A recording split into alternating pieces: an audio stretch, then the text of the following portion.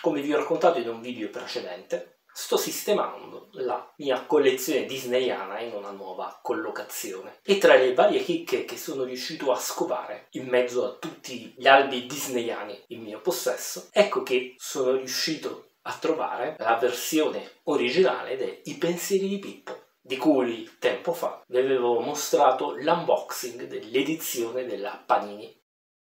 Sto infatti parlando dell'edizione Oscar Mondadori, pubblicata nel 1970, quella con la prefazione di Ranieri Carano introdotta da Mario Gentilini, all'epoca direttore di Topolino.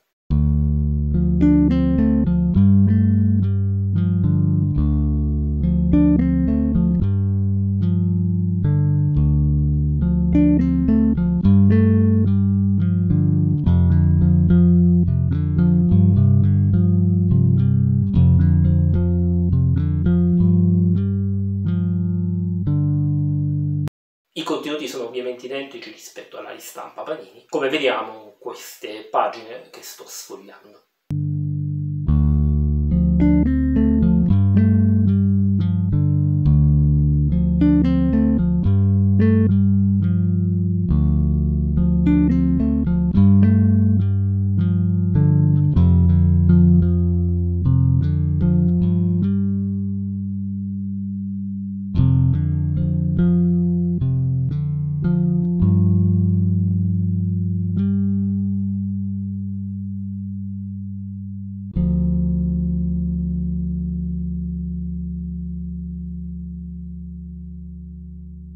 Ovviamente, se volete vedere altre chicche uscite fuori dalla mia collezione, oppure restare aggiornati sui video disneyani e scientifici che verranno pubblicati sul mio canale, l'invito è sempre il solito. Iscrivetevi al canale e attivate la campanella. Saluti a tutti!